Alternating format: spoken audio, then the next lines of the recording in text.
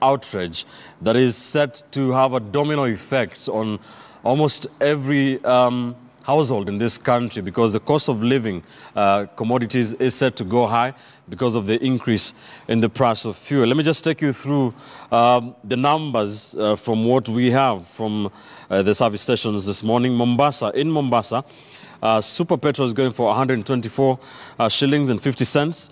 Diesel 111. Nairobi super, uh, super is going for 127 shillings and 80 cents. Diesel uh, is going for 115 shillings. Kerosene at 97 shillings, almost hitting that 100 shilling mark uh, for kerosene. Nakuru 128 for super petrol, for diesel 115, for kerosene 84 shillings. In Kisumu 129 for super, you'll pay 117 uh, shillings for diesel and 99 shillings and 30 cents for kerosene. If you're in Malaba, next to the Uganda border, on the Uganda border rather, super petrol is going for 130 shillings, uh, 118 for diesel, 100 shillings 50 cents uh, for kerosene. In Mandera, a price of one liter of super petrol is going for 141 shillings and 60 cents. Those are just the numbers uh, that ERC finally, uh, uh, you know, enforced from midnight last. Let, let me begin with you, uh, Dismas. Um, the, the, all this is uh, coming uh, ahead of that or against the backdrop of that bill, uh, that amendment to the to the finance bill, that is yet to be ascended to by the president. Um, what do you think should happen? Do you think the president will sign uh, the, the, those amendments into law? Well, number one, it's uh, very curious that President Kenyatta did not sign the bill into law before leaving for China. Probably that gives us an indication that he's happy with the hikes on uh, the cost of uh, petroleum products uh, in Kenya. Right. Number two, we've been uh, saying times above number that there's a lot of uh, incest happening at the National Treasury. You've got all the top officials, I think up to 10 officials who are running Kenya. All of them have got some sort of relationship with IMF. Either they're on a secondment in Kenya from IMF, or they're employees of IMF, or they read from the IMF um, hymn book. And we know that for the longest time since IMF was established, Right. that when they come with the prescriptions to any economy, the performance indicator is just uh, their books. They do not serve the interest of uh, Wanjiku. And one wonders why we've run our economy in a manner that we are now attracting IMF attention. You remember when President Kibaki was in charge, he ensured that IMF has been uh, kept at bay. Mm -hmm. IMF were not allowed to come and uh, start giving us uh, policy prescriptions. Now we've run our economy in a manner that we are begging IMF to come and uh, give us uh, support. And uh, you recall a few days ago, the MP for Kiminini, Honorable Didmas Baraza, indicated that um, Honorable Henry Rotich should be impeached because he has displayed uh, successful failure in running our economy. I'm wondering why Didmus Barasa has gone quiet on that. Because when the economy starts bleeding, the first person who is supposed to take responsibility is the minister responsible for national treasury, and that's uh, Mr. Henry Rotich.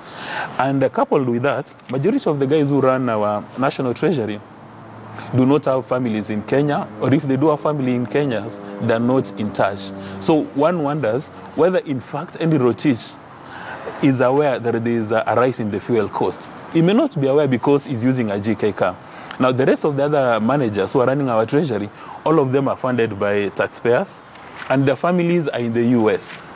So some of these managers will be worried about the cost of uh, fuel in the UK and uh, in the US.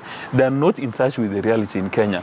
And there is no way, and you know, historians and economists have said, you cannot tax your way to prosperity. You are supposed to address the key issues affecting our economy. All And. The key issues affecting our economy is mismanagement of the economy, number one. Number two, corruption.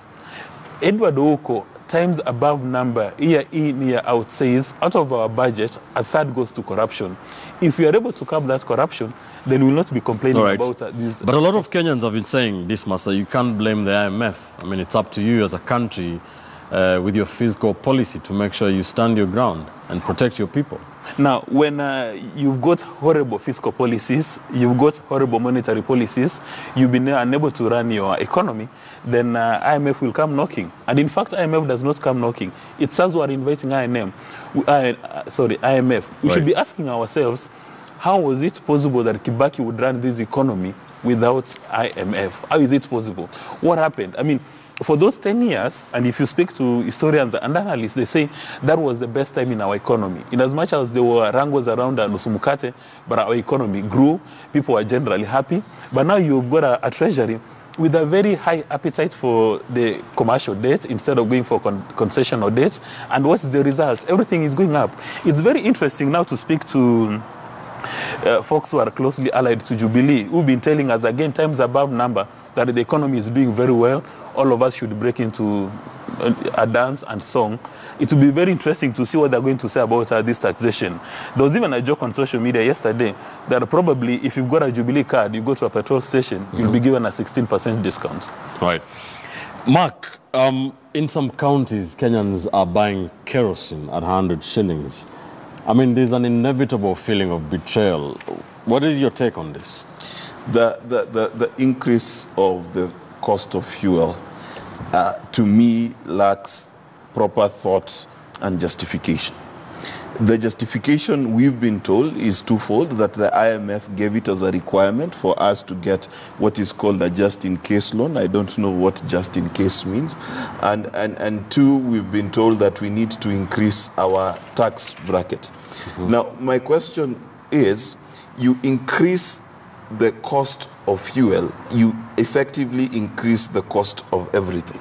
The cost of bread, the cost of unga, the cost of even uh, the, the, the, what we call a kisiagi down in Bungoma uh, will go higher because the kisiagi most likely uses kerosene or whatever fuel it uses to run. And at the end of the day, even if it uses electricity, the, the fuel levy on electricity is also going to go high. So I don't quite understand why the economists would risk this because it is going to cause inflation to the greater part of the nation. Now, that being said, and the and the logic of it not necessarily making sense to me, mm-hmm. this is what I would like to tell my government. I really don't mind paying even 60% tax. I don't mind it at all. Mm-hmm. Just make sure that I have access to quality schools for my kids. Just make sure I never have to pay another hospital bill for as long as I live. Just make sure that I don't need to call my house six hours in advance before I arrive to avoid being carjacked. Just make sure my grandmother, who, who is unwell, can go to the hospital and I do not need to hold a harambee to contribute money to pay. Also, just make sure that the taxes I'm paying are not going to fund NYS 3. What am I saying? Instead of adding 16% tax on fuel, please do 100% tax on corruption. That's all we are asking for, for in a country. The tax on fuel is not going to raise our budget by a third. But if they fought corruption, a third of our budget will come back alive. So, CS in charge of uh, Treasury, do us a favor. Do 100% tax on corruption. Make sure all corrupt money is brought back to this country and leave our taxes alone. Hesbon, um, let me ask you what Dismas was